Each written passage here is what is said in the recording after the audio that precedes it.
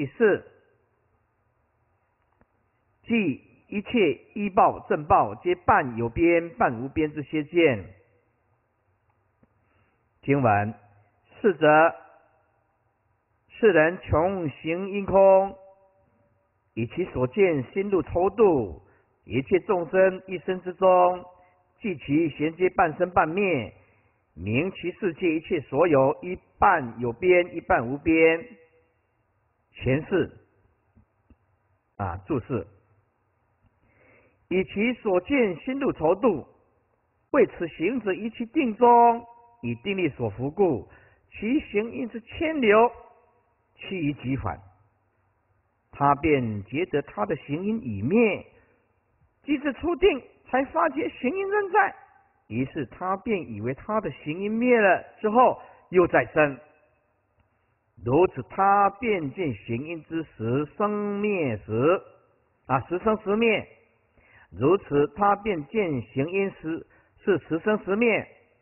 于是以自己的心路之历程啊，去筹度，而记着法界一切依报正报，皆是如此处，于时生时灭、半生半灭的状态中。这又是外道人以自我为中心而普度既着一切的另一个例子。一观，是则世人想因既尽，行因现前，即以定力言穷行因，亦求其空，以其入定出定时所见行因，乃十生时灭，即以自心入历程。头度既着，一切众生一生之中，即其衔接半生半灭，又以此推，明其世界中一切所有之物象，亦皆是一半有边，一半无边。哎，这个就是没有大悟，功夫不够啊，乱讲，很可怜的外道。我们非常有福报，听到如来的正法。知道他的错误。二结于堕为外道有边论。经文由此嫉妒有边无边堕落外道或菩提性，是则名为第四外道立有边论。一贯由此自心魔所作祟，而邪计妄度诸法有边无边之细论，因而堕落于外道之恶见，就是邪佛法，反而变成外道。以致祸乱自他菩提正觉之性，是则名为第四类外道所立之有边邪论。第五种啊，行因的第五种阴谋，会堕入四种交乱论。经文：又三目中诸善男子，坚宁正心，谋不得变，穷生累本，观彼幽清，常老动言。以自见中生嫉妒者，世人坠入四种颠倒，不死交乱，骗计虚论。翻过来，二四一六，什么叫做不死交论呢？啊，这个不死就是指不不死天，也就是无想天的果报。外道即无想天是就近涅盘之处，所以又称之为不死天。且说修行人一生一世，如果不随便乱答人家，死后当生比天，哎，你就是不要乱答。哎，他们又说，如果自己实在不知道而勉强回答，就会造成交乱。因此，为了避免交乱，他们立了一项规矩：如果有人问任何问题，身为本派的弟子，你就应当回答说：“这是秘密，言辞不可明说。”因为自己不知道，嗯，啊，或者含糊其辞地做不定答，因为他不知道他不是大觉的世尊呢，他回答不出来啊，又怕答错了，又想往生无啊无想天，哎，他就不敢乱答啊。佛对他们这种做法就呵斥说：“此真交乱！”哇，佛真了不起，这才是真正的交乱，哎，是不是啊？回答不出来。又不敢回答，你只是避开问题，并没有面对问题呀。也就是说，他本来是为了避免教乱而模棱两可、含混其辞，结果反而成了真正的教乱，因为以其言辞闪烁不定故啊，因为没有大悟嘛，而不是像如来啊、世尊呢，是不是啊？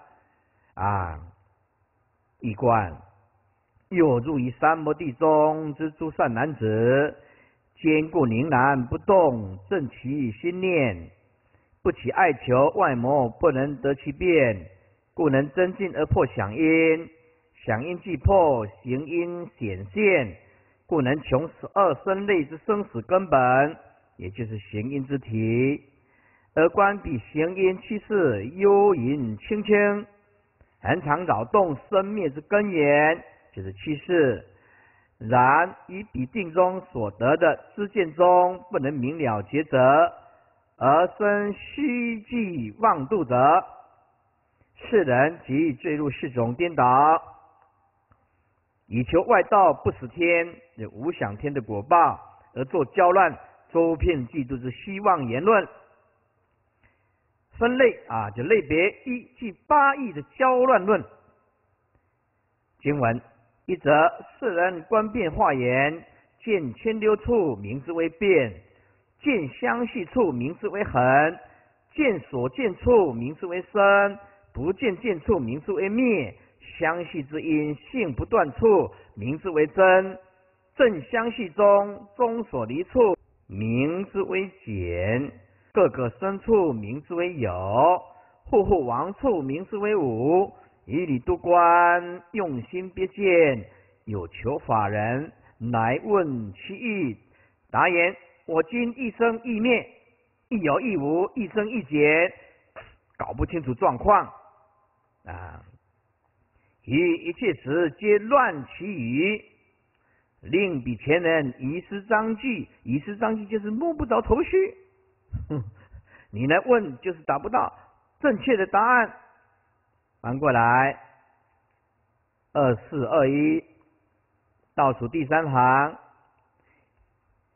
一则世人一定中观想因已尽，行因显现；一是进而观行因，因为那是一切变化之根源。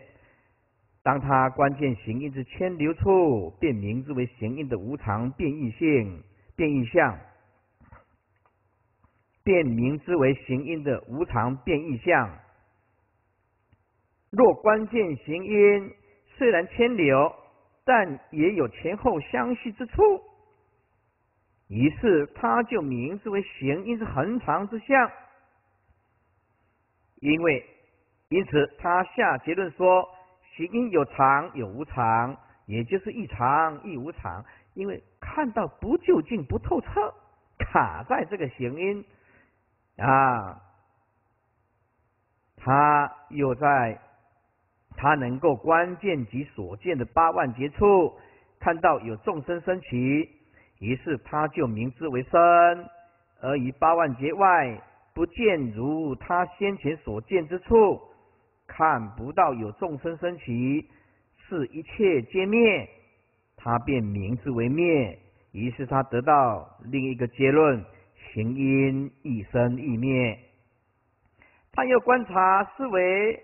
如果前面的行因已灭，后面的行因尚未升起，这中间必定有个令前后衔接起来的相续之因存在，但它却关键行因之牵流性中仍有不间断之处，在这前后因衔接处，本应中断，却没有中断，便有如多出了一个法字，这多出了一个法。它便名之为真啊。反之，前后因正相续中，其中间为前后二因所分离之空切处，也就是虽然相续而且中交。比如说入息、出息、呼吸啊，气出来再吸进去，中间会短暂的停留一下。就有如少了一法，这种情况，它便名之为灭，以名之为减。这种情况，它便名之为减。此行者又因观众生个个皆有独有，个个皆有其独有之深处，他便名之为有；见其户户相率，皆归王处，尽皆有始，他便名之为无。于是他又得到一个结论：一切法皆亦如是，亦有亦无。以上八种表面上虽皆是。以理多观诸法啊，然而由于行者之用心有差别，因而一见同一法时，却前后不一致，不能够真正得如理而确定之见，以其所见不定故。若有求法人来问其修正之意，他即答言。我今所见为一切法，乃一生一念，亦有一无，一增一减，无有一定可说。一比于一切时，皆如是交乱其余，令彼现前求法之人遗失章句，遗失章法字句，以及正义理，令人知见混乱，无所适从。也摸不着边呢，啊！二即为无之交乱论经文，二则世人地观其心，户户无处，因无得正。有人来问，为答一字，但言其无。除无之疑，无所言说。这个无不是佛陀所悟的那个无，差了十万八千里。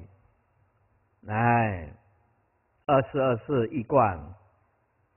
二则世人一定中地观其行因之心，当行因之身住恶相灭的当下，他见一切皆无，他于是在此暂无的现象中，以法法上互互相推相掩，而皆疑而皆自疑无处，从而忘记自己因无这个字而得正通。即悟一切终归无，这个无是断灭啊！哎，不是佛体悟的那个无，差十万八千里。一个是正解，一个是邪见，断灭见不一样的。故若有人来问法的时候，他回答一个一个字，回答一字，但言其无，且除了无一字之余，即完全无所言说。什么话都不说。二四二五即为世之交乱论经文三则世人地观其心，各个有处，因有得正。有人来问，回答一字，但言其事，除事之疑，无所言说。一贯三则世人一定中地观其行因之心，当他关键在行因的意象。以灭相之后，仍有生相与住相再生起，即下结论为一切法个个皆住于有处，一切法有，且忘记其以因有中而得正无上道，正一切法有，不知道一切法都是缘起。因此，若有人来问法，以为答一字，但言其事，其除事之疑。即无所言说，其他什么话都不说。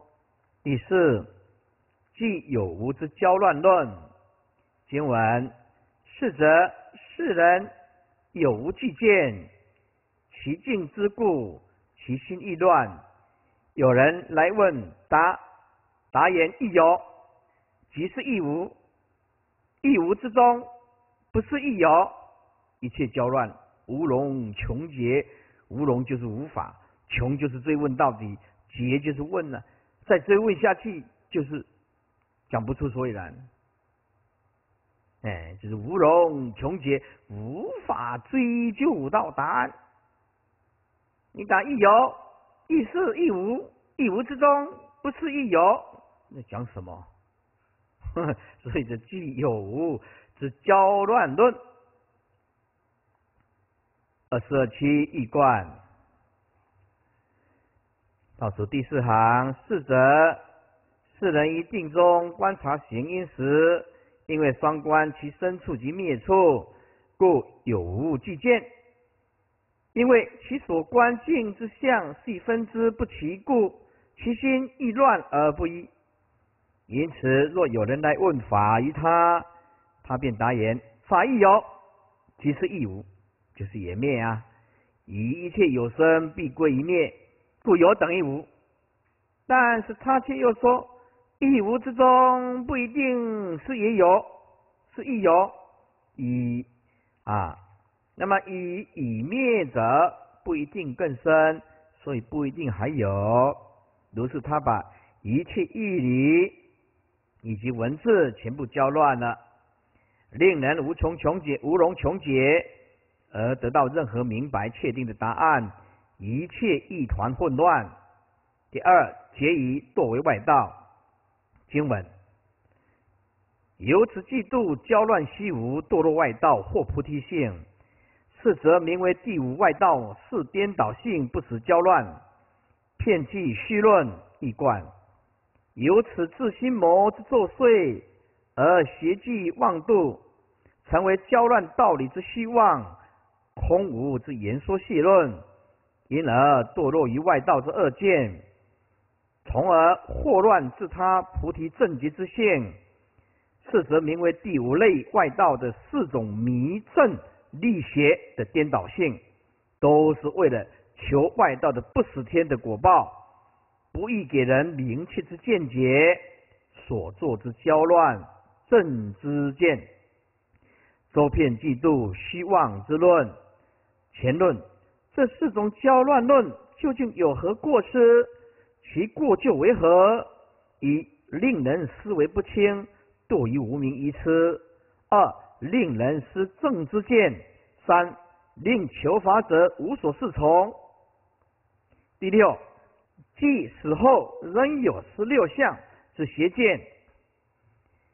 经文有三目中诸善男子，奸廉正心谋不得变，穷生内本，官比幽清，长老动言，以无尽流生嫉妒者，世人坠入死后有相，发心颠倒。把笔拿起来，或。旁边编号 A，或自故生，银色是我。第二，或见我闻，这个或的旁边编 B，B 或见我缘，含片国度，银我有色。二四二四三零，这个或比前年这个或旁边编号 C，或比前年就是眼前呐啊外色之言呐。或比前年眼睛所看到前面这个因缘呢，随我恢复回复银色属我，这是西这一段是 C，。以下或就是编号 D，或复我一行中相续，以我在色，这个是 D 的 A B C D 有四段，那等一下你就知道啊。皆嫉妒言死后有相如是循环。有十六项，为什么有十六项呢？把这个色、受、想排列下去就十六。刚刚已经编号 A、B、C、D 了。好，再看一遍，二四二九，看一遍啊。或自故生，银色是我。如果是换第二个字呢，就变成受了。或自故生，银受是我。或见我言，含片国度，因我有寿啊。七就是祸比前言，所以我恢复，因寿属我啊。这第一或复我一行中相续，因我在受。那么想也是，就色受想行啊。因为这个外道，他的功夫只能到行音，在底下更维系的第八意识四音，他完全泯然不知，茫然不知。所以他只能讨论色受想行，那么刚刚编的 A B C D 四乘以四就是十六。好，翻过来二三二四三零。好，第一或复我依行中相续，因我在色，皆嫉妒言死后有相，如是行凡有四六相。这个一色受想行，色是相，受是相，想是相，行是相，四四十六。从此或记毕竟烦恼，毕竟菩提，两性并趋，各不相处。由此嫉妒死后有故，堕落外道或菩提性，是则名为第六外道。立五阴中死后有相，心颠倒论。二次三一倒数第一行，一贯又入于三摩地中知诸善男子，坚固宁定，持正其心，不起爱求，外魔不能得其变。故能增进而破响音，响音既破，行音即显现。于是他便在定中穷究十二生类之生死根本，行音而观彼行音幽隐清清，恒常扰动之根源。故他即以彼行音相系无尽之牵流相，提早执着而生嫉妒，此行音为诸动之本源者，是人。从而坠入死后，仍会在有色、受、想、行啊色、受、想等诸因相，再从行因升起之妙见，从而发心颠倒，或自坚持固守此身形，而言四大之色是我，此为即色是我；或望见我性圆融，含遍十方国度。而因我拥有色，此为即我大色小，色在我中，或比现前所言之色，能随我就任凭我回旋往复应用，而因色属于我，此为即离色是我，或复我系一行因中之千流相系之相而存活，故因我在色中。这个是既色大我小，我在色中，如是等皆虚妄嫉妒，而言死后生虽已死，但我心事仍在，故乃故仍有我相在。如是之论说，循环往复，共有十六种相。从此或更转身一层而记着，毕竟烦恼已毕竟菩提。皆是由有为的行因之造作而成，因此皆如行因之无尽。是故真一妄二法这两性并驾齐驱，就是同时并存了，并行而不悖，故各不相处相妨。由此自心魔之作祟，而邪气妄度死后，仍有诸因相故。因而堕落于外道之恶见中，于是祸乱自他菩提正觉之性，是则名为第六类外道立五阴中死后有相，于是成就自心谋所造之颠倒邪论。二四三三中间七八种邪计无相。有三摩中诸善男子，皆明正心，谋不得变。穷生内本，观彼幽清，长老动言，以先除灭色受想中生计度者，是人坠入死后无相，发心颠倒。二四三四，见其色灭，行无所因。观其想灭，心无所系；知其受灭，无复连罪。因性消散，纵有生离而无受想，与草木同。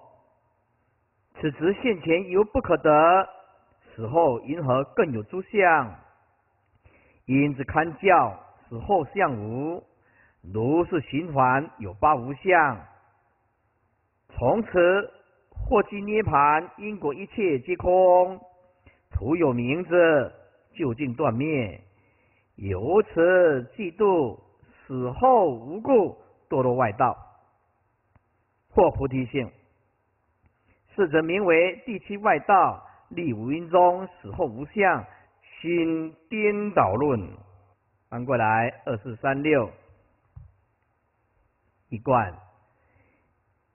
又以三摩地中之诸善男子，坚固宁定，持正心念，不起爱求，外魔不能得其变，故能增进而破响音。响音既破，行音既显现，于是他便在定中穷究十二生类之生死根本，就行音，而关闭行音之幽隐清清，恒常扰动之根源，就是七事。此时若于先前已经除灭的色、受、想三因中而生邪计筹度者，意思是说，色、受、想本有今无，因为他已经进入了行因，前面都。啊，本来有，已经被他断除了。如今行因虽然有，将来也当成无。世人便坠入外道所记记执的时候，一切法皆归无相的断灭论，则其发心遂成为颠倒心。此人一定中关键其四大之色灭之后，则。念其身形无复所因，就所依；若在观其响因灭的时候，则念其心无复所系，啊，则念其心无复所系。而当他知其受因灭时，则记他的色与心无复连缀之桥梁，因他以为前面三因之性即消亡下散灭。啊，既已消亡散灭的，此行因纵仍有生理，仍旧存在。然而，既无受想二因，此身乃与草木同。又此色受想行识因之子这体，纵使现前一定中犹不可得，此后因何更有诸因之相可得呢？因此，就是一次勘教，经过了确认、复合啊，确定之后，可下结论说：生前与死后是因之相皆无。如是循环论，共有八无相。哎，八无相论就色受想行嘛，各一个是二嘛？啊，所以加起来是八嘛。既然现前之空。既无修正，而死后也是空，便无正果。是故从此获金涅盘、菩提因果，一切事出世法皆系空无，徒有名字，并无实际。一切法究竟归于断灭，遂成为波无因果的大邪见人。哦，这个很可怕的，认为没有因果了。是贤者由此嫉妒死后，一切皆归于空无啊。一切皆归于空无故，堕落于外道之恶见，也就是邪佛法成外道，以致祸乱自他菩提正觉之性，是则名为第七类外道所立于五阴中，即死后无相，心魔所成之颠倒恶论。好，二四三八八八种俱非虚论。啊，经文又三目中诸善男子，天宁正心，谋不得变，穷生内本，观彼幽清，常扰动员，于行存中兼。受想灭，双既有无，自体相破。世人坠入死后俱非，起颠倒论。色受想中，见有非有，行千六内，观无不无。如是循环穷尽阴界，八句非相，虽得一言，皆言死后有相无相。又记诸恒诸行，性迁而故，心发通悟，有无既非，虚实失错。由此嫉妒死后既非，后继昏蒙，无可道故，堕落外道或菩提性。是则名为第八外道，立五阴中死后即非，心颠倒论。翻过来二四四零第一行，色受想中见有非有，这个有是指行因之有，非有是指已灭的前三因，因为前这个三因已经灭了。所以成为非有，这是说，与已灭的色受想三因当中，相对于现犹存的行因之有，行因现在讲有，那么前面三因就是非有。行迁，行迁流内，行迁流内，观无不无，行就是行因。无就前三因之无，不就是非无，非无就是有咯。此谓于现存的行因之千六内，对关于前面三因之无，那么这个三因之无并非无，而是有。也就是说，前三因之无这件事是有的。如是循环，循环指循环做观，由后观前。由前观后，按此所谓循环做观，其实就是绕圈子。穷尽阴界，阴指色受想行识因，界就是界限范围。八句非相，什么叫八句非相呢？有根无二法，以句非。排列组合，聚会就是通通啊，这两个非了，叫做聚非啊。啊，有也是非啊，无也是非啊，啊，叫做聚非啊。啊啊，或者有这个聚就是亦有亦无，哎，非呢就是非有非无，哎，所以聚就是同时存在嘛，非就是两个都否定嘛。排列组合及衍生四句与是非，称为八句非。此八句非是什么？一是有，二是无，三是非有，四是非无，第五亦有亦无，第六非有非无，第七非亦有非亦无，第八非非有非非无。这对初学佛法来讲哦，哦。真不知道从怎么个解法啊！这八句非变成一切外道言说细论的核心啊！将来我们会讲到啊。翻过来，二四四二第四行，立无因中死后即非，未比外道积无因为体子，而立众生于死后，其无因。既非有，非无，也就是说，人死后其五音不是有，也不是无，按那是什么呢？说不出所以然。哎，一贯又又入于三摩地中之诸善男子，坚固宁定，持正其心念，不起爱求，故外魔不能得其便。乃能增进而破响音，响音既破，行音行音即显现，因此他得以穷究十二生类之根本，就是行音。而关闭行音幽隐清清，恒常扰动之根源，这些趋势，但是他却于行音善存当中兼以受想二因一灭，而双即亦有亦无。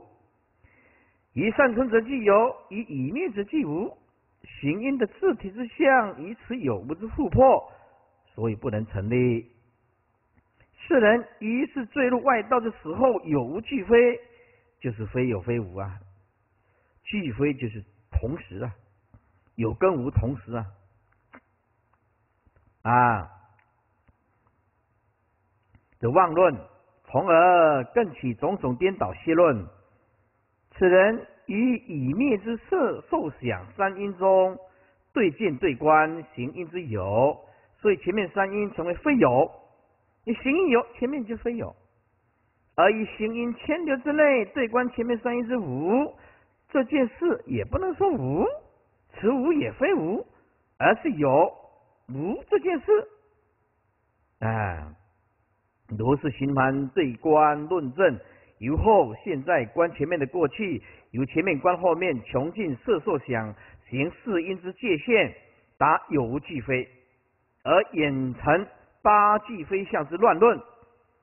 于是随即得一因为言，以此因作体裁，彼皆言此因于死后非有相非无相，又以其所记一切诸行，就是万法之性。既皆千里正理之外，充满而错谬误故。啊，而错谬误故，其心即依此等邪理而发邪通以邪物，从而他即更加确定有无俱非之邪见，而令一切事理之虚实皆失其所错啊，皆失其错字之所。而令一切事理之虚实皆失其错字之所，由此对生前之双非，更推而计死嫉妒死后，更推而嫉妒死后，亦一切法既非有非无，由一如是邪见而修正故，此行者但见后继，就是只见未来。乃一片昏蒙，茫茫然，无丝毫之道，或实之理之道，实之理啊，实之理之可道，你就可说了。这无丝毫之道，或无实之理之可道，是故他便堕落于外道之恶见，以致祸乱自他菩提正觉之性，是则名为。第八类外道所立于五阴中，死后即非，非有非无，心谋所成之颠倒邪论。九七迹断灭邪见，这个迹不是我们刚刚讲的过去、现在、未来，这个迹是指交际处，意思是指处所。七迹就是七处，七处啊，七迹断灭邪见。经文有三摩中诸善男子，坚明正心，魔不得变，穷生内本，观彼幽清，常导动言，于后后生嫉妒者，使人坠入七断灭论。或即生灭，或意尽灭，意尽灭就是出禅了；或苦尽灭就是二禅；或极乐灭就是三禅；或极舍灭就是四禅。如是循环，穷尽七际，现前消灭，灭已无复。由此嫉妒死后断灭，堕落外道或菩提性，是则名为第九外道。立五阴中死后断灭，心颠倒论。诸位看二四四五倒数第三行，七迹是哪里呢？一四大洲：东胜神州、南瞻部洲、西牛贺州、啊北俱泸州。啊六一天我们也讲过了，初禅三天，二禅啊第四就是二禅，第五是三禅。那么三四五各三天，就是九天了。啊。那么四禅就九天呢？那么四第七就四空天，就是一四大洲，二六欲天，三初禅，四二禅，三哎五三禅，六四禅，七就是四空天，就七季就七处。翻过来二四四六，一观，又以三摩地中之诸善男子坚固宁定。持正其心念，不起爱求，故外魔不能得其变，乃能增进而破响音。响因破矣，行因即显现，于是他便能穷究十二生类之生灭根本。行因观彼行音幽隐清清，恒常扰动之根源，就是七事。然而他于行音念念灭处。以为是以后后当归于空无啊，往后推论就是无。因此而生嫉妒者，世人即坠入外道七迹断灭论。此人或记四大洲以及六亿天之身当归于断灭，或记意境之初禅当断灭。或记苦尽之二禅当断灭，或记极乐之三禅当断灭，或记即死之四禅，乃至四空天当断灭。如是循环推论，穷尽七际，忘记现前之法，将系归消亡灭尽，灭于一未来，却无复更生。此行者由此记住死后，一切皆归断灭，而堕落于外道恶见。以此祸乱自他菩提正觉之性，是则名为第九类外道所立于五阴中，即死后断灭。心魔所成之颠倒邪论。第十邪记五处现证涅盘论，邪记五处现证涅盘论就是五现涅盘邪论啊，就是提早记早说哎，这是涅盘。今晚又三不中诸善男子，皆宁正心，谋不得变。穷生内本，观彼幽清，长老动言，以后后有生嫉妒者，世人坠入五逆盘论。或以意界为正转一，关键严明，生爱慕故；或以初禅性无忧故；或以二禅心无苦故；或以三禅极业随故。或以四禅苦乐二王不受轮回生灭性故，迷有漏天作无为劫，啊，这个就是重点，啊，这个就是本题的重点。第十啊，行因的十种阴谋就是迷有漏天，明明是烦恼生灭法，作无为劫，以为是正德不生不不灭的啊无为如来的涅盘。五处安稳为圣境一，把有漏的五五处认为是无为不生不灭的境界，是五处安稳。啊，而圣境一如是循环，五处究竟，由此嫉妒五现涅盘堕落外道或菩提性，是则名为第十外道立五阴中五现涅盘心颠倒论。注释。这个通通要看，与后后有生嫉妒者，是为观行因念念相续无间，而计其最终后后必有十果产生，且恒常不灭。五涅盘论，五处皆得就近涅盘之邪论。五处是哪五处呢？一就是六欲天，以及设计的四禅天。就是初禅、二禅、三禅、四禅，这个五个地方，把它当做涅盘。其实这五个地方都是有漏生灭法。或以异界为正转一，异界是指六一天，转一为唯识法相的术语。所以这个《楞严经》跟唯识白法起信论有息息相关的思想。转就是转变。一就是所依，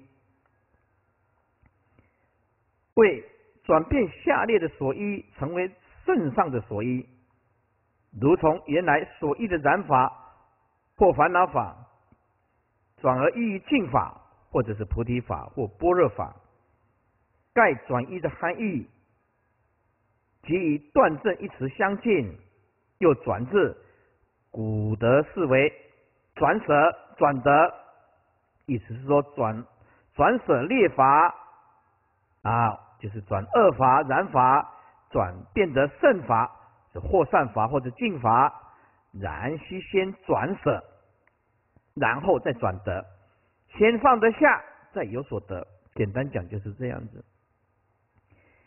你想拥有佛陀所有的财产吗？很简单，就是身心世界通通放下，你就拥有释迦牟尼佛的财产啊。这个世间谁最富有嘞？啊，你说，哎呀，哪个的首富嘞？几千亿，是不是啊？哎，我说我最富有，为什么？我只要两个字，知足，我就全世界最富有，而知足就不缺了，是不是啊？我现在知足就什么都不缺，不缺，我就是全世界最富有的人。诸位，你也可以当全世界最富有的人了，观知足啊啊！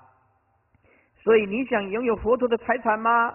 很简单，就是全部身心世界通通舍，你就拥有释迦牟尼佛所有的财产。不舍不能得到佛陀的财产，你舍不下嘛，舍不下烦恼嘛啊！以下啊。然而须先转舍，然后再转得。正如一断正，必须先断，然后再正。如先断烦恼，再证菩提。又为是学所说的二转一果，也就是菩提果、涅盘果。以此二者为经由修圣道而转烦恼，转烦恼成菩提吗？转所知障变成涅盘吗？而后所得的最胜妙果。故此二转一，又称为所转得之果。此即为此人邪计以异界天为就近之转一，就就近果了。即有若仙家之计，六一天为长生不死之仙境了。错误的想法啊！关键言明，关键异界诸天六一天之天光，言明以此行者刚破响音，严定发明出得天眼。故得关键六一天，或以初禅性无忧故，初禅就是世界初禅天，因为初禅是离生喜乐，系出离于异界烦恼，异界之苦恼不再逼迫，故他称之为无忧。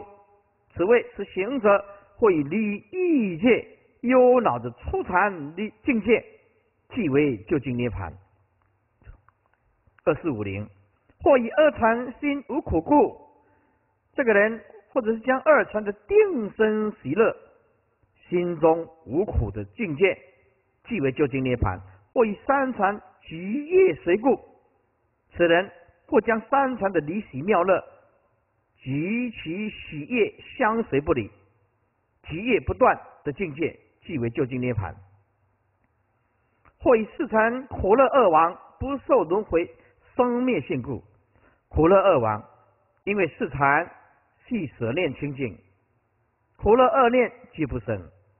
此行者住于此境，便以为已超脱生死轮回，不再受生死苦，因而即四禅境界为究竟涅盘。以上皆是将有为有漏，有为就是生灭，有漏就是烦恼。这个漏是指烦恼，有为就是生灭，把生灭法。烦恼法的欲界以及色界天，即为无漏，无漏就是没有烦恼了，究竟之圣果。你有漏天作无为解，你有漏的欲界色界天即为无漏无为的涅盘境界，无处安稳，安稳就这个稳跟这个稳是一样的，没有以此五处为安稳的究竟归宿，为圣境一，为以彼五处为最胜清净究竟之所依处。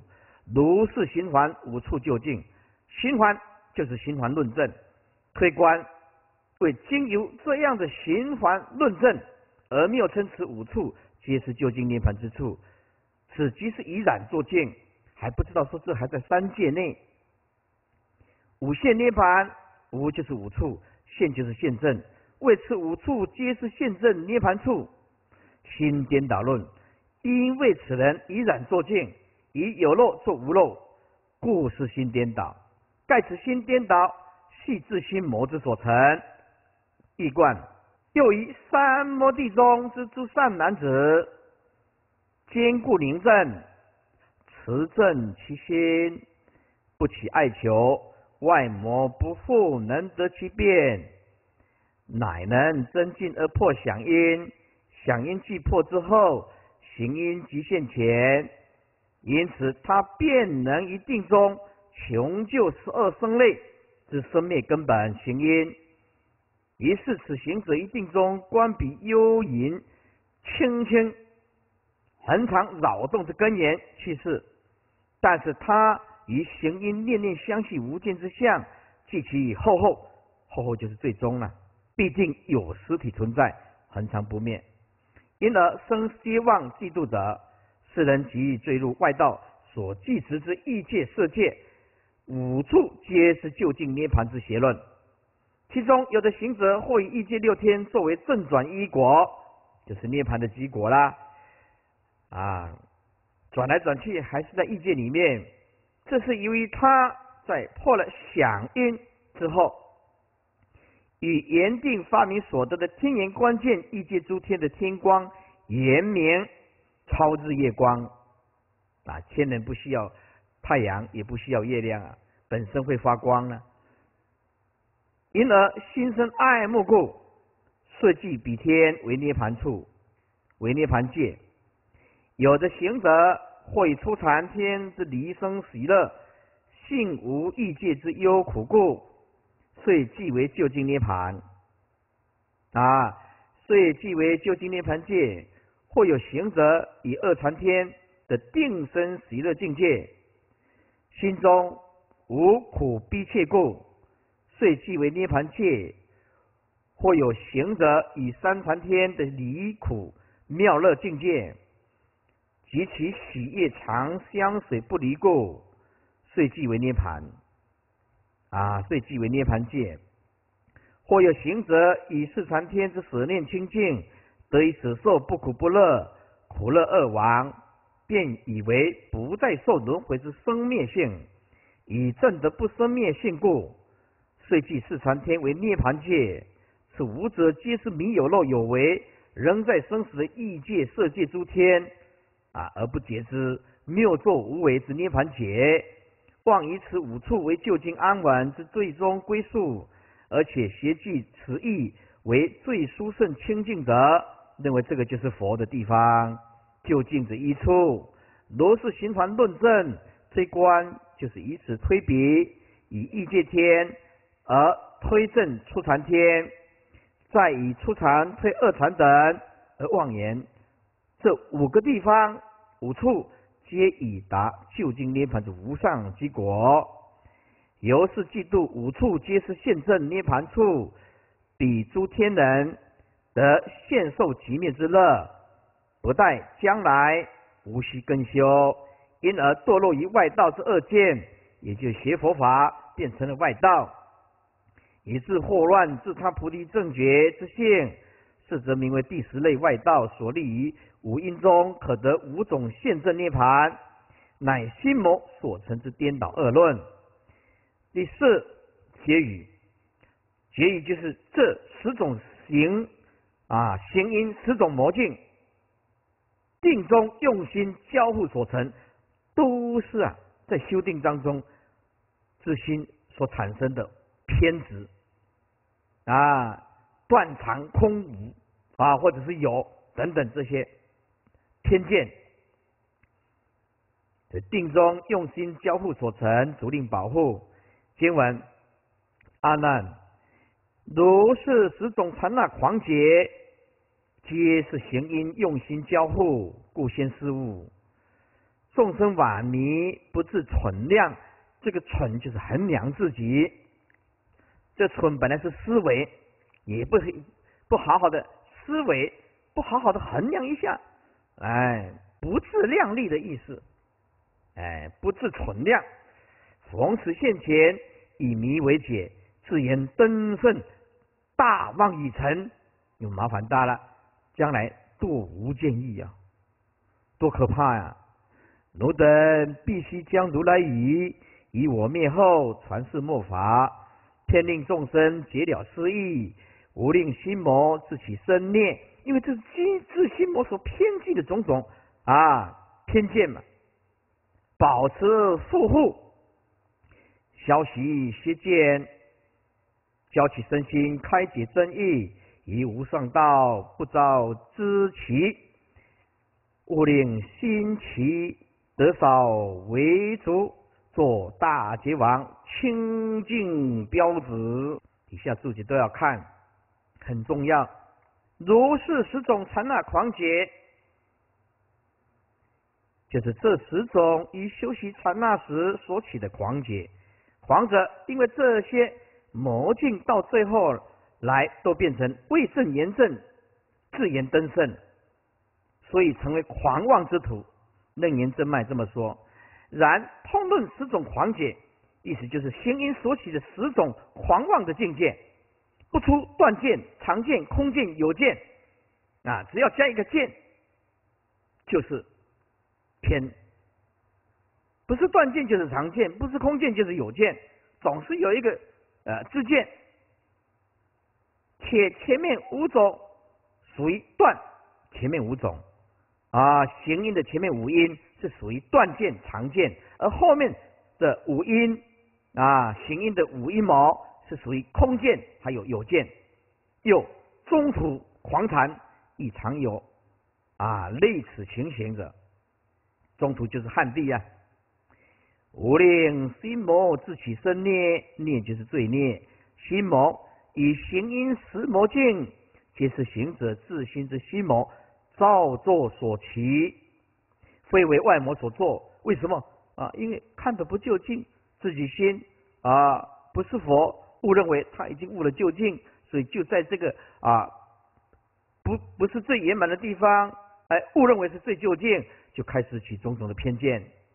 魔者就是破坏，以自持心不正而起妄想计着，遂成自我破坏，心魔于焉出生。勿令心起得少为主，心起就是心中的祈求，得少为主就是以稍微有所证得啊，解决变成满足，乃至因此而自满，以自满故终成狂妄。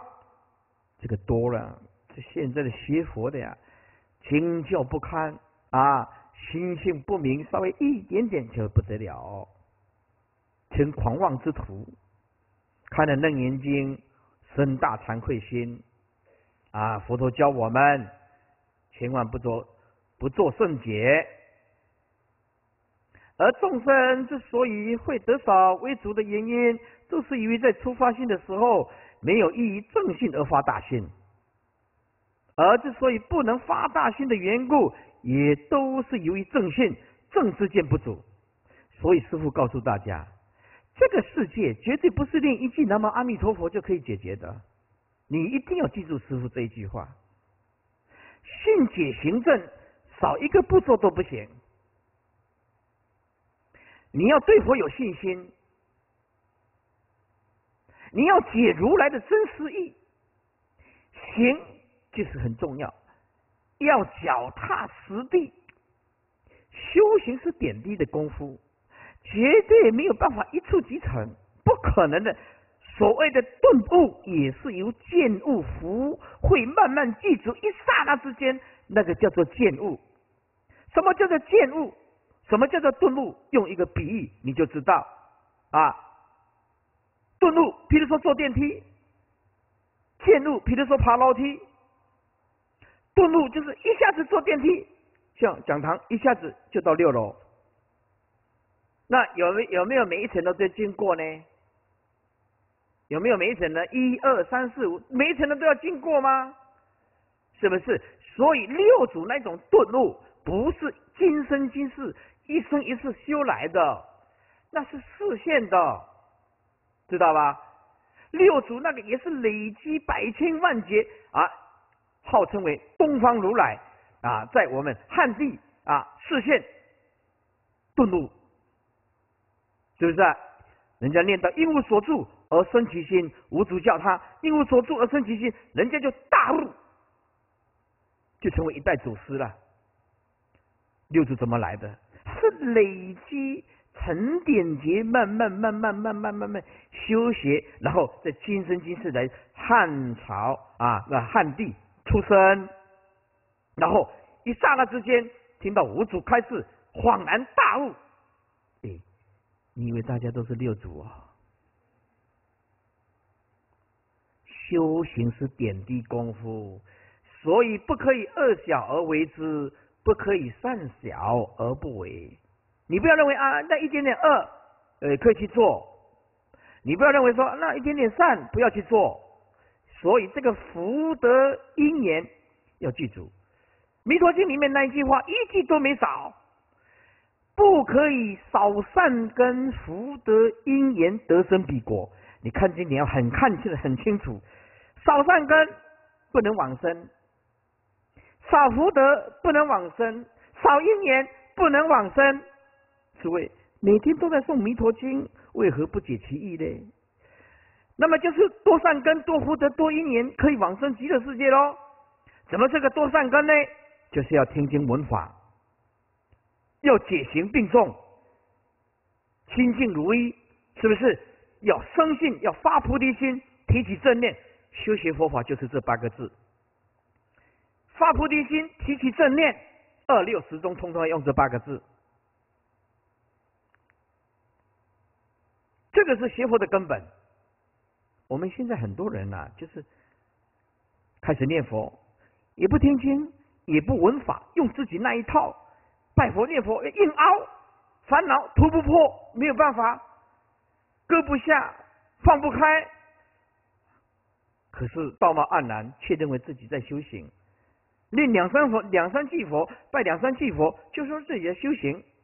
叫他你不来听经闻法吗？哎呀，我自己看呐。去也不是叫人家念佛而已吗？哦不不不不，要对佛有信心，要二要解如来的真实意。第三要行，要实践呢，是不是？要切切的去做啊，落实到我们的生活当中，就是佛法，既现实又超越，既超越又现实嘛，是不是？再来啊，正就是正悟到哦，万法毕竟空啊，所以正量。有所正量，就是心境一如啊，原来万法不可得，踏破铁鞋无觅处，得来全不费功夫。不经一番寒彻骨，焉得梅花扑鼻香？我们虽然说现前一念当下本自具足，但是没有经过种种的痛苦波折，你体会不出来。你体会不出来，没有经过初世间大悟的大善之事，单凭你个人打死悟不出来。虽然就在你的眼前，可是你就不悟。因此，我们要了解，修习佛道绝对不是念一句南无阿弥陀佛，诵一部无量寿经就可以搞定它了，这不可能的，这绝对没有办法的啊！果真你也能够万年放下啊！一念符号提起，诵一部无量寿经而得成就，我恭喜你，那你是术士大有善根的。你也不是你也不是简单的人，但是一般没有办法的。说老实修行，老实修行，老实念佛，老实念佛，你以为这么简单呢？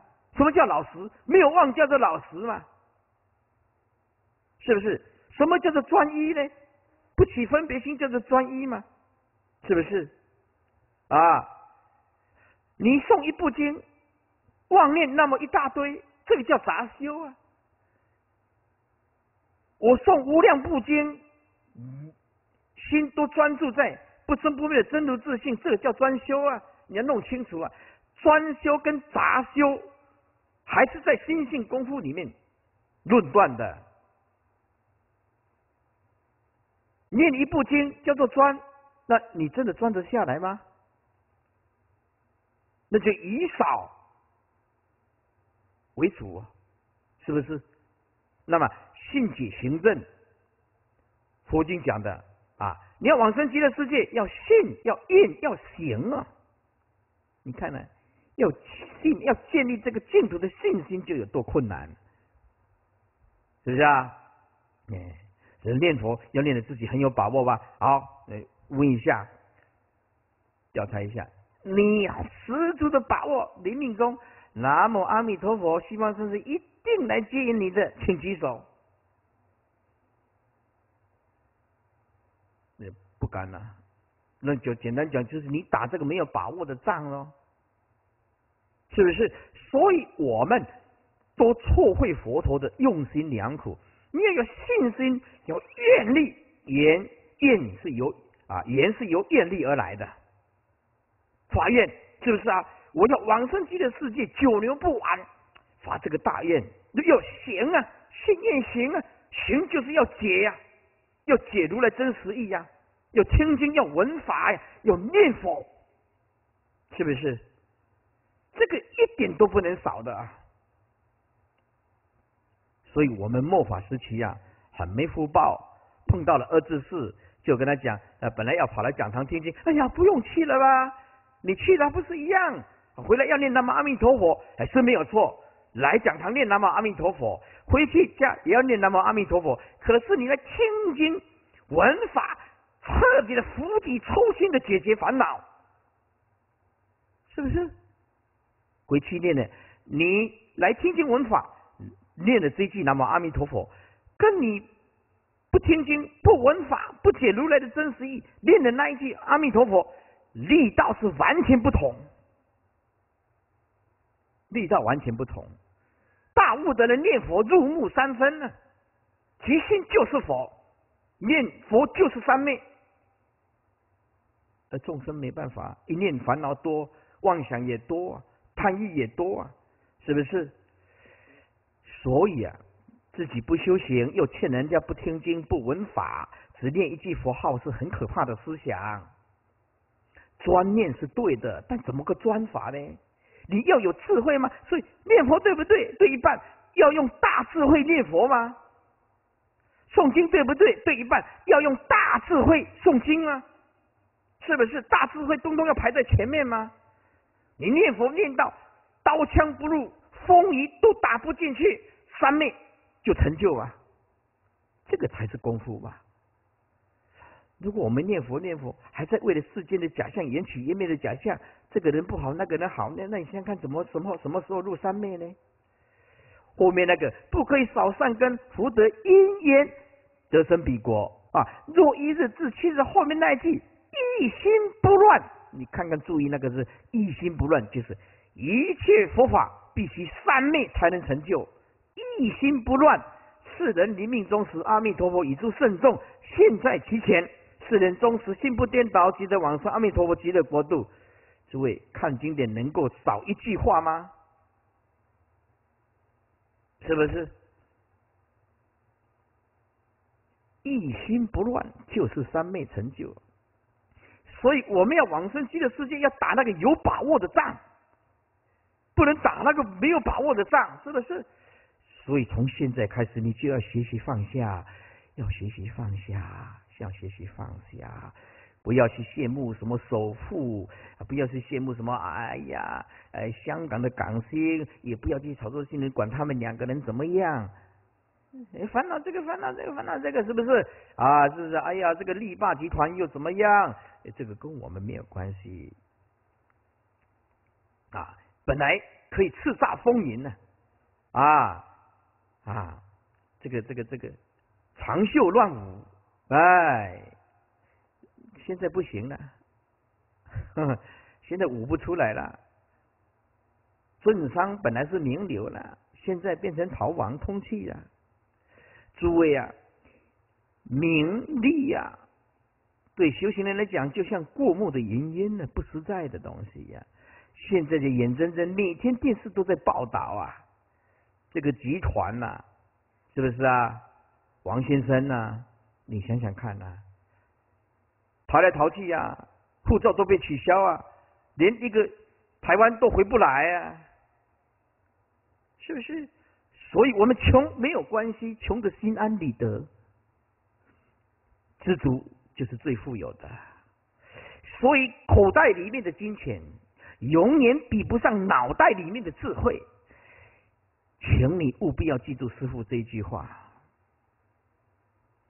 所以把钱拿出来布施没有关系啊，没有关系，没关系了哈。好了，这个就是。我们看经典不能曲解佛意，你要了生死要很有把握，是不是啊？以下啊，是没有依于正信而发大心，而之所以不能发大心之言的缘故，也都是由于正信正之见不足。盖修行若不发大心，便极容易于止于途中之种种化成。化成就是方便呐，而未为实在究竟的涅盘城。就此经中所说的十种狂解的得少为主之人，都是已经正式起修，并且皆以正的禅那，而且又破了色受想三因的深修之事。然而当今的所谓狂妄者，太半太半就是大半了，连得少为主都谈不上，因为彼等。充其量仅是学少为主，或者是修少为主，因为有的才看才开始在学习，或方开始修，仅仅修学的少少分，便觉得非常满足了，以此自满而骄矜自恃，而目空一切，以是成狂。哎呀，这个末法这个时期，哎，多的不胜枚举啊，骄矜自恃，目空一切。大觉王就是佛，清净指标就是清净妙法之所标志着，也就是直指本心呢，直指成佛之道一贯。阿难，如是十种以修习禅那时所起之狂劫。阿难，如是十种以修习禅那时所起之狂劫，皆是行者以响应破后。行因显现之际，但此行者用心不善，定会以妄想交互灵替，故现四等邪物境界。然而众生冥顽迷惑，不自蠢度思量正法及自己难得的身份，妄是正法及自我，逢此狂悟境界现前之际，竟以迷妄的境界为得圣洁。开悟，而自言以登圣位，因此为正言正大妄于业于焉，成就来世当度无间地狱，受无量苦。奴等必须将如来之正法语，以我灭后传世于末法时期，偏令众生修正定者，解了失十种心魔之义理，无令。行者自己啊，心魔自起狂结，因为没有大悟，从而造大妄语之深具罪孽，以保持正法不令断绝，并以复护正修之事，消灭子习种种颠倒邪见，教其身心开发解了真意。以无上佛道不遭横之欺辱，而堕入外道，并勿令其心中升起祈求得少为主之念，因而堕于凡外前小。凡就是凡夫，外就是外道，前就是前教，小就小圣啊，得少为主的境界，意思就是你要发大菩提心，成就大菩提果。奴等悉作大劫王。所教次清净妙法之标志，直指本心，直是成佛之道。好，我们今天呢就讲到这个地方，明天要补课啊，因为年关将近了，也剩下下个礼拜而已，不补课讲不完。好，回向愿以此功德。庄严佛净土，一起念：上报四重恩，下济三途苦。若有悉发菩提心，尽此一报身，同生。愿生西方净土中，上品莲花为父母。花开见佛悟无生，不退菩萨。翻开二四五七。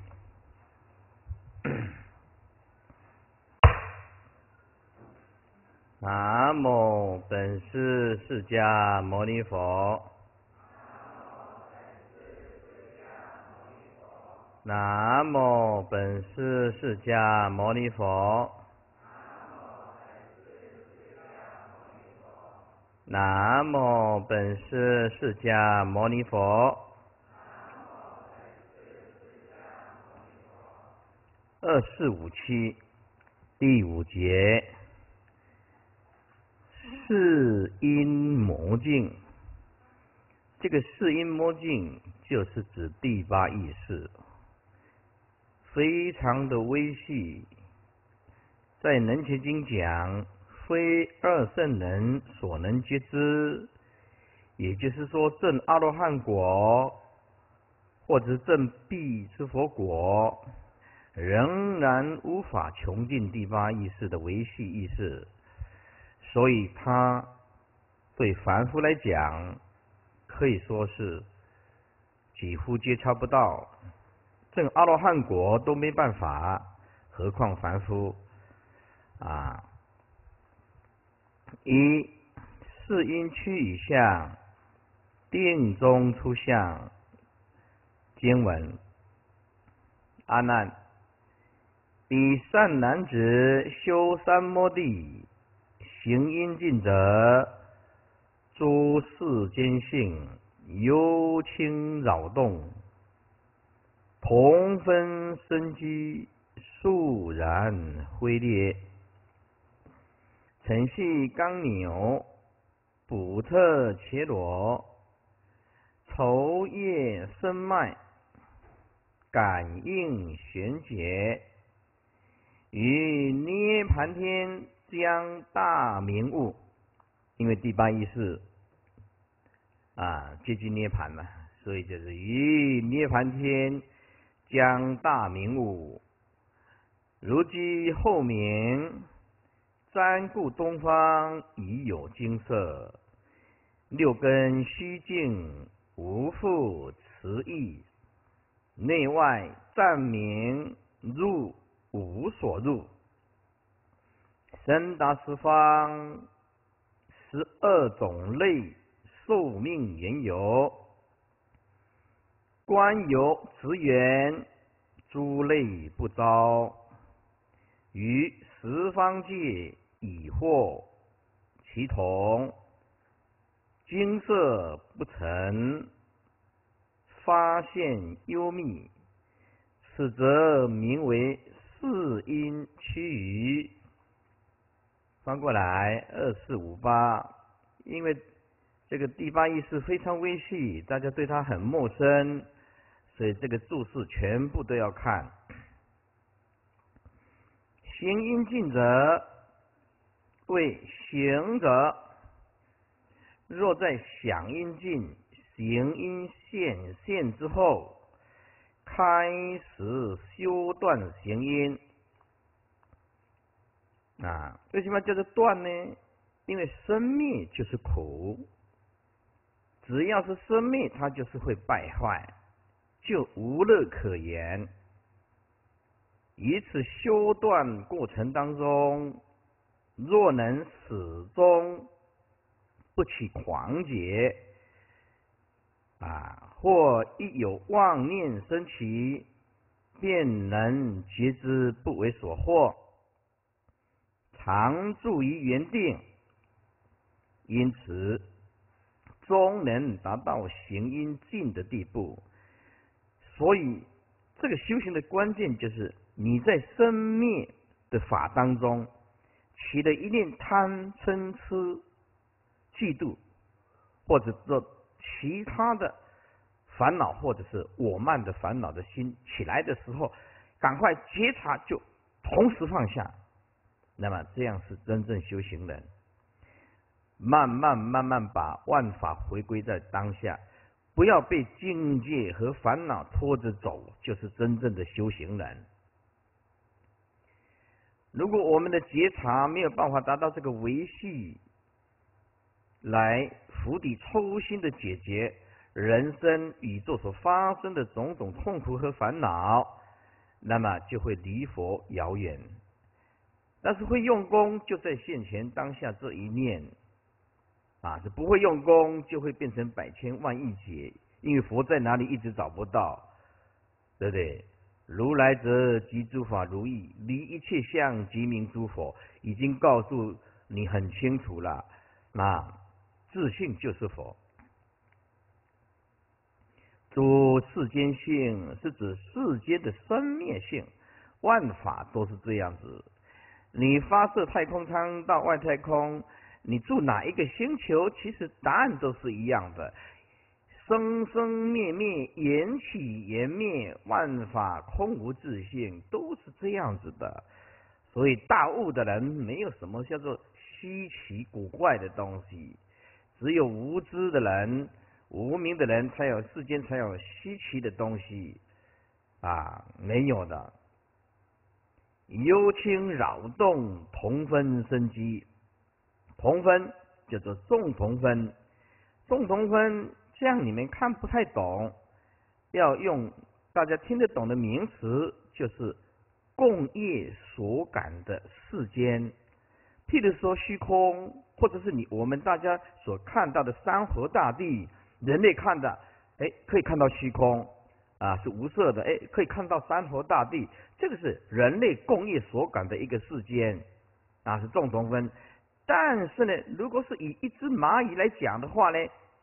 你把它一只蚂蚁把它放到啊呃森林里面，它不知道那个叫做森林，因为它的境界不够。它在一棵树树上爬来爬去，爬来爬去，它怎么知道那个是一棵树嘞？啊，所以就人类的角度能看到山河大地虚空，就一只蚂蚁的角度来讲，它的众同分跟我们不一样啊。所以人类的共业所感看出来的世间。跟居住在地球的众生看出来世界完全不一样。譬如说，鱼生长在大海里面，它看出来的世界跟我们人是完全不一样的世界。虽然说同处在这个地球，可是这个众同分就是共业所感的看出去的相不一样，不一样。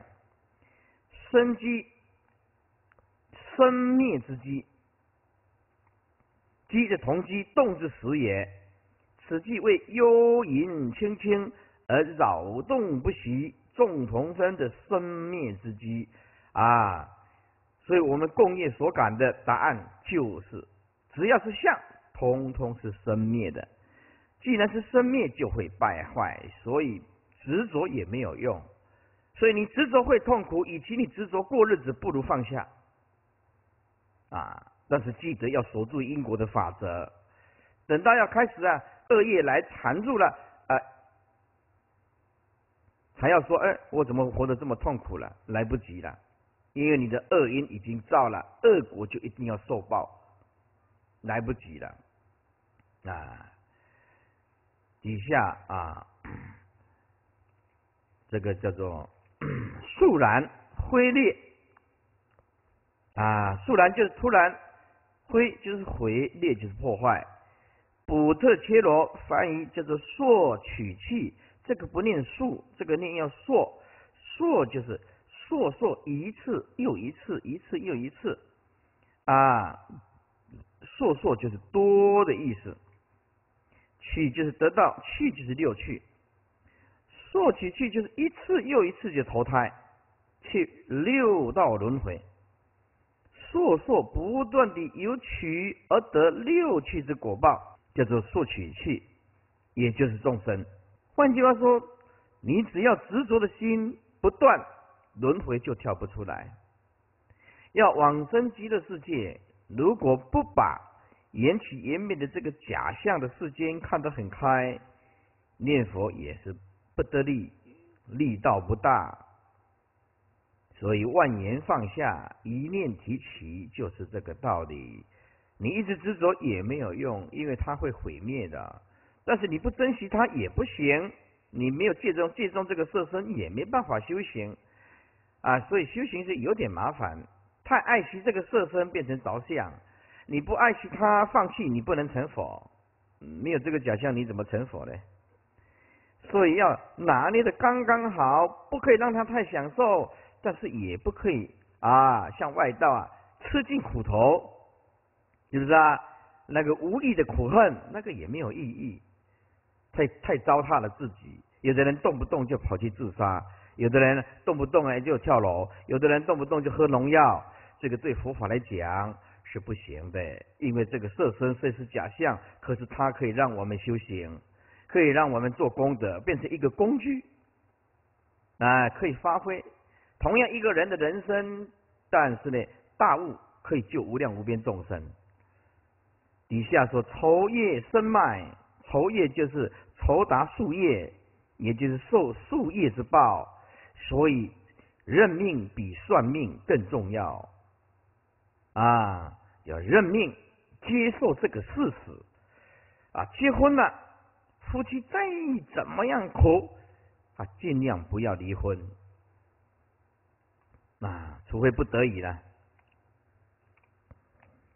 啊，因为这个已经业已经造成了啊，生脉生前之脉络，也就是行因呢，感应衔接，感应就是因果的感应。为什么因因果的感应会衔接呢？因为第八意识就像一个仓库。前前七世是在造善业跟恶业，通通搬来第八意识放着，变成种子，是不是？所以你前期是啊行因突破了，那么因果就断了。哎，所以就是因果的感应，弦就是圆了，结就是断结结机了。为行因为能感能能感应因果者，而今行因已经尽了。因果是生前没落变断，就是生死了。因上果就亡，所以菩萨为因呢，众生为果。菩萨还没有造这个恶业，就好好的警惕自己。众生是等到受到痛苦的果报，他才发现啊，我不应该这么做，那来不及了。故不复受生。因此说，感应因果之行因已断绝闲言，也就是说，行因已经远离，将大明悟就是天亮，得大醒觉，大觉悟。金色是精明之色，天将亮之时，天上虽有精明之色，但未大明。这用以象征于性天之中，行因已尽，事因显现。故于性天中现有精明之属色，但仍未放大光明。内外暂明，内六根，外六尘，湛然明澈。什么叫做湛然明澈呢？就是清楚透彻，不被迷惑。根尘化为一味，为什么都是同一个本性嘛？情与无情，同源种子，就是这个道理嘛。内四大、外四大本来就是同一个本体的嘛。地水火风本来也是同一个本体嘛，是不是归于一体嘛？而无复内外相隔之相啊。那我们受于业力啊，我们变成分内四大、外四大，还执着的不得了。为了这个假象，贪嗔痴造无量无边的恶业，临命中双手一撒手，西归，遵循着业力的因果法则，继续去轮回。所以众生呢，没有听到佛法就很笨呐。用这个色身拼使命的造业，却带不走；拼使命的贪钱、财色名十岁，却不能拥有，是不是？而今安在哉？《赤壁赋》里面讲的，而今安在哉？啊，寿命言有啊，寿命即寿身呢？寿身之根有，即是第八世。啊，寿命原有。观有之源，由就是根由，就是世因，直就是即直，缘就是本源真心呢。为此行者观自己寿命之缘由，就是世因呢，便即知他是本源真心。诸类不招，诸类就指十二类身呐。若暖身，若胎身，若湿身，若化身，若有想，若无想，若非有想，若非无想啊，等等。招就是招言呐。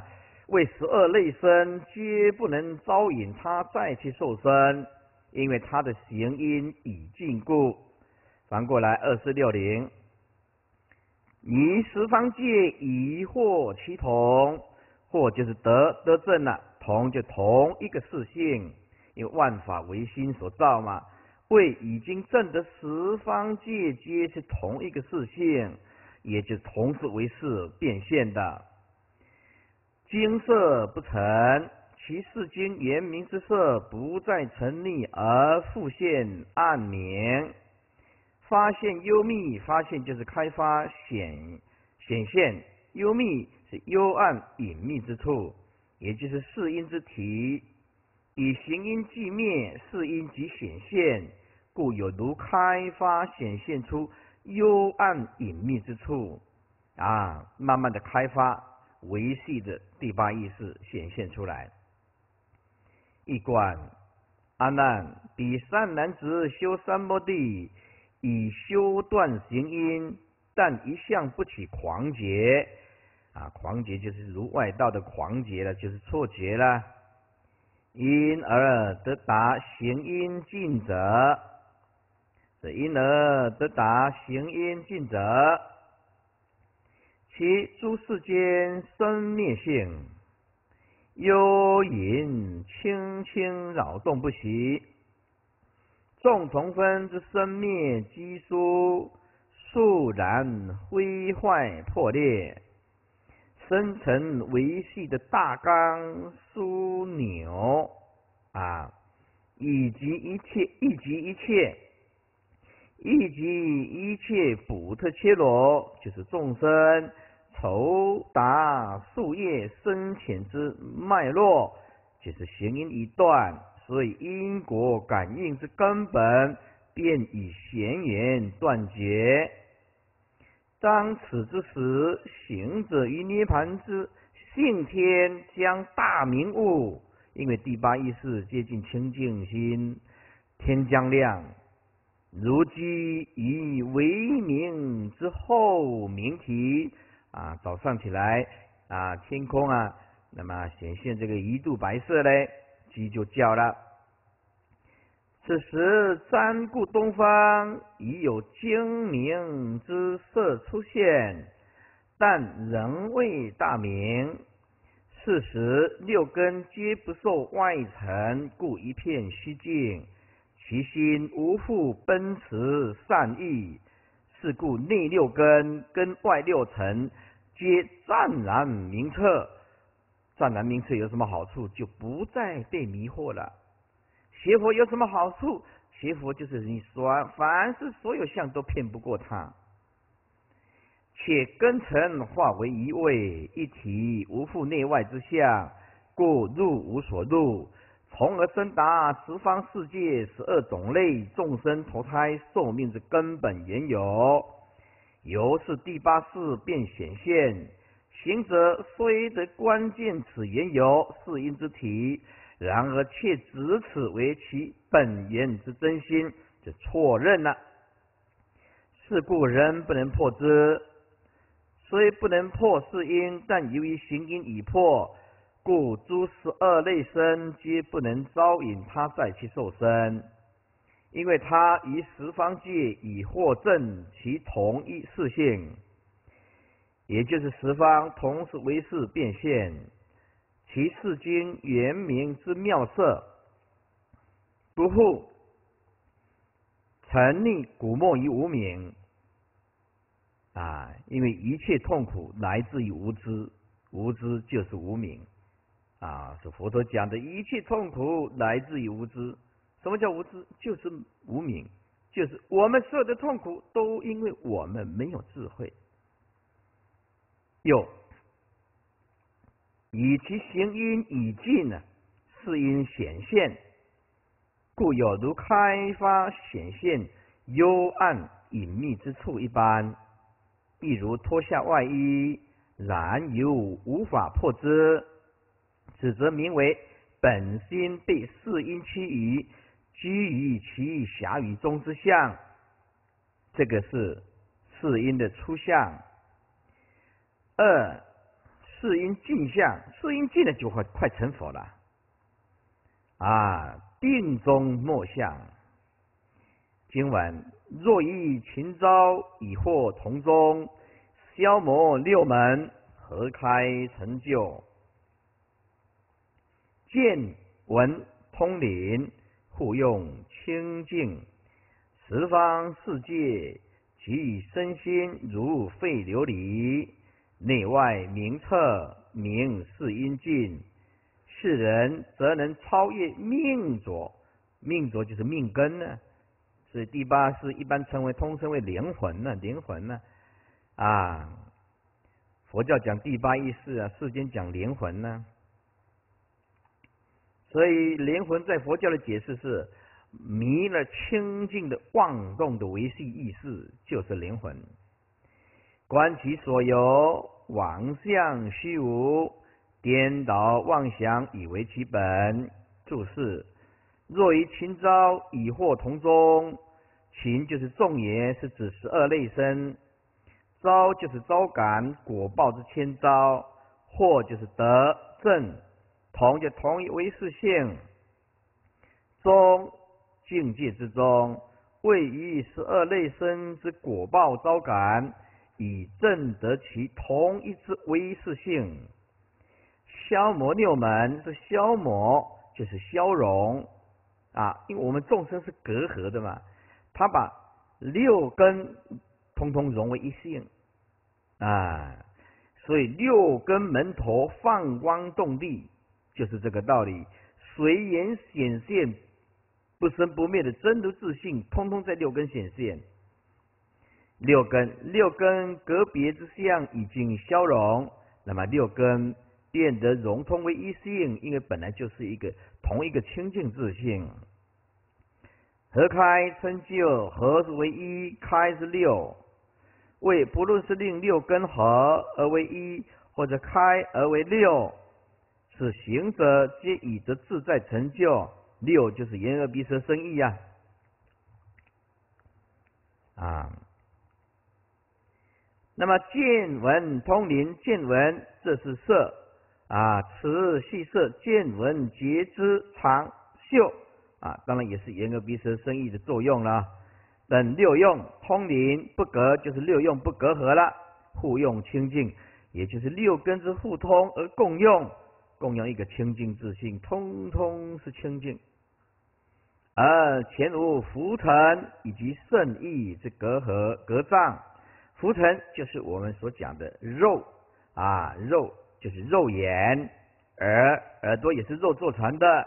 肾意就是我们所讲的类似类似神经系统啊，就是肾意根，一个叫做浮尘根，一个叫做肾意根。注意，浮尘根就是我们眼睛的肉眼，而肾意根是。类似神经系统，但它却不是神经系统，是意识啊。所以媒介通灵的人，大部分都是透过神经系统来跟我们有形的人类讲话啊。因为灵界跟人无法相通，所以必须透过灵媒。那么这个灵媒大部分都透过。神经系统来作为媒介，比如说一个人呢，哎，附身啊，那神经系统被控制住了，哎，都是从神经系统。所以记得，如果你家有人琢磨啊，琢磨喃喃自语，不能克制啊，好像鬼魂附身，鬼魂怕什么呢？怕镇静，怕镇静。所以这个时候呢。你晚上睡觉用一点安眠药给他吃，这是不得已的，因为他长期以来被鬼附身嘛，啊偶尔去打一下镇静剂，那鬼附不起来，因为他控制你的神经系统。然后用大杯做水给他喝，大杯做水给他喝，大杯做水给他喝，也要佛力，也要人力。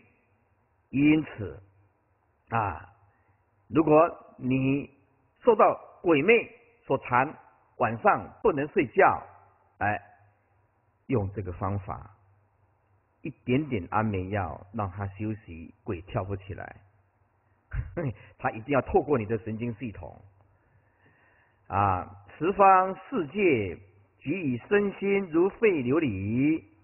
十方世界是指外气世界，身心为有情世间，也就是医报跟正报。肺琉璃就是琉璃，又作琉璃、脾琉璃，意为青色宝，为七宝之一。其宝青色，银色有光。凡物尽之，皆同一色。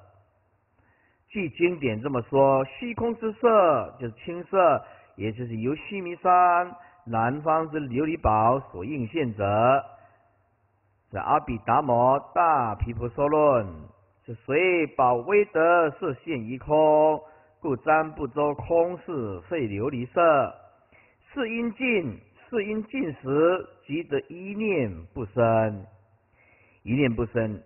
啊，故生灭合合之相俱灭，一念不生，就是十方诸佛所先说的共同道理。一切法无生，所谓生是妄念生。啊，我们庸庸碌碌的过一生，从来不觉悟冷静下来，剖析一下人生和宇宙的真理，停不下来，拼命的冲，想要追到什么快乐。抓到的东西又很快消失，啊，从希望当中啊而得到一点点希望，得到一点希望以后，后来毁灭又变成绝望，哎，到最后人在绝望当中交出我们的生命。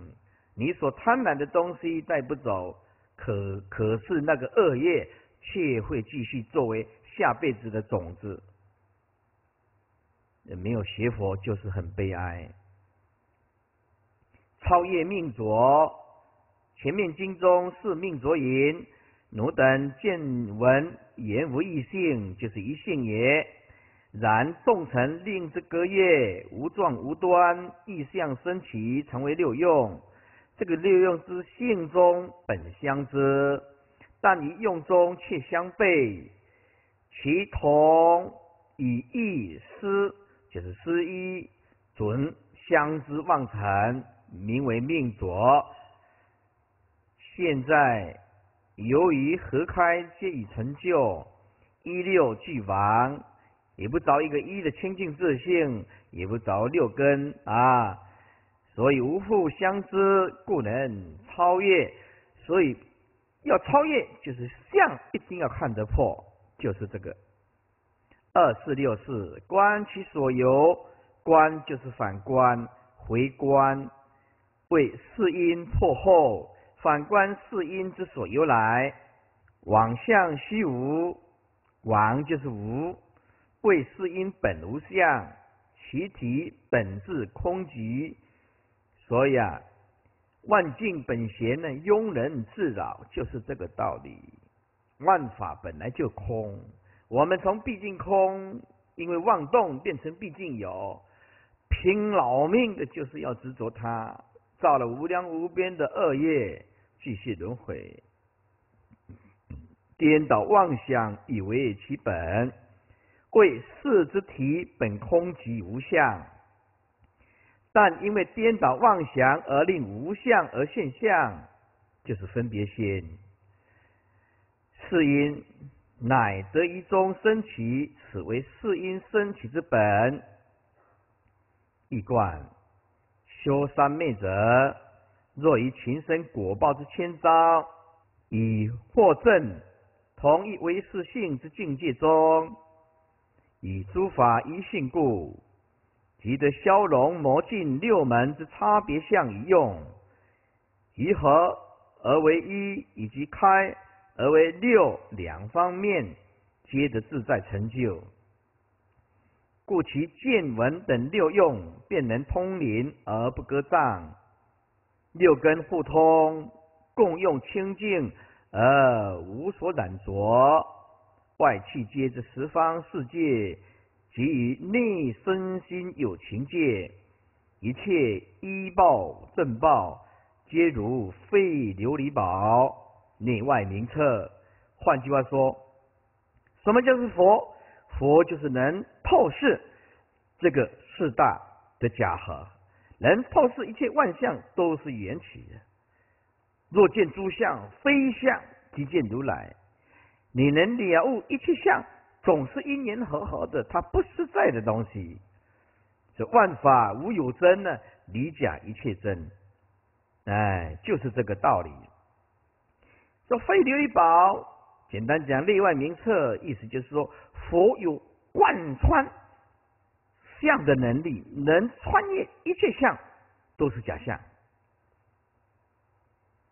他知道执着没有任何的意义，只会变成心灵清净心的绊脚石，变成生命内在世界的压力。所以我们简单讲，就是拿一块大石头压住自己。不肯放手那些不必要的观念和争执，我们把自己压得死死的，是佛所同情的。我们把神经系统紧绷着，斤斤计较，晚上连睡觉都睡不着。为什么？何苦来哉呢？是正因为我们没有悟，不知道说执也要过日子，放下也要过日子。当然，就是放下的日子比较快乐喽，哦，是不是啊？通如啊，通通如一，无有隔阂。此名世因尽之相，以世因尽故，世人则能超越命浊，即超越于反观其世因之所由来，乃至前世以非有之妄相啊。体性空即是虚无等颠倒的妄想。换句话说，一切众生都是因为执着、分别、颠倒妄想，继续造业，继续轮回。而且轮回的很悲哀、很可怜，就是多此一举，本来就空啊，没有轮回啊。哎，但是我们对这个虚无的的假象看不破，就拼死命的以为有一种东西可以追求。因此，妄想不断，颠倒不断，执着不断，争执不断，吵吵闹闹过一生，自令非有而现有，以为其身生起之本，以为其生起之本啊。二四六五，那么前面这两段是初相跟末相，师傅讲的就比较详细，因为四因对大家来讲很难，因为它很维系。二连二圣人都无法穷究，何况我们凡夫？